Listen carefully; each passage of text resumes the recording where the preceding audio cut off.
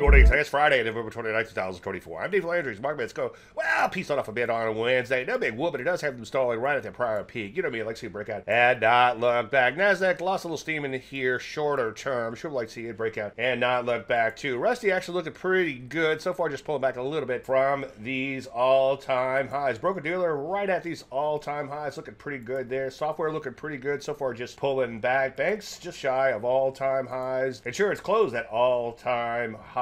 Financials looking pretty good. Utilities have come back in here quite a bit. Still got on Wednesday, but so far the breakout remains intact. All agree to world, unfortunately, a lot of areas still look really ugly. Biotech so far just pushed into this overhead supply. Still looks like a top remains in place here. Major drugs are made in the downtrend so far, just pulling back. Semiconductors sideways at best, beginning to break down a bit. Did find a little support at the 200, but I wouldn't get too excited about that just yet. So the point I'm trying to make is it's very mixed out there. So make sure you're picking your spots carefully. Any questions, as usual, Dave at DaveLandry.com. I'm Dave Landry, and you sure the Mark Better.